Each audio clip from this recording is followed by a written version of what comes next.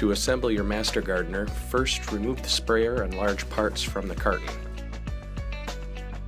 Don't forget the small parts bag inside the tank. After removing the parts from the tank, gently tip the sprayer upside down onto the tank lid. Looking underneath the back panel, locate the two black 2-pin connectors. Plug these two connectors together securely. Leave the red remote switch connector alone for now, this will come in later. Slide the handle into the lower frame. Adjust the handle height to a comfortable setting for the operator.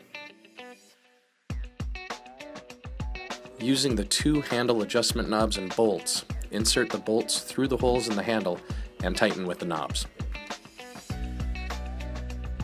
Locate the bag labeled nozzle assembly. Insert the nozzle body fitting through the nozzle bracket and hold in place with the nozzle body nut, tightened loosely by hand. Insert the nozzle filter into the nozzle body. Place the deflector nozzle into the nozzle nut. Thread the nozzle nut with nozzle onto the nozzle body fitting and tighten it slightly. Attach the nozzle bracket to the tank with the two screws and washers. Tighten securely.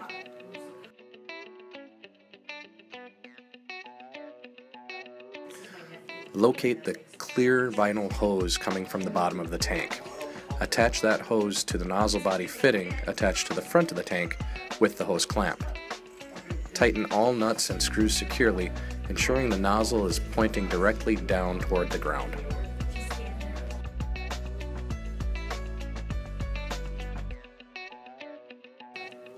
Install the drain cap. Install the spray gun clips securely. Tighten the spray gun wand onto the handle. Push the wand into the clips on the front of the tank.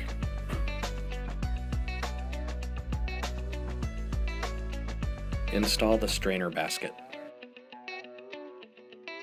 Ensure the rubber gasket is inside the fill lid. Install the fill lid. For towing, locate the red 2-pin connector and attach the wire harness securely. Test the wire harness for proper function.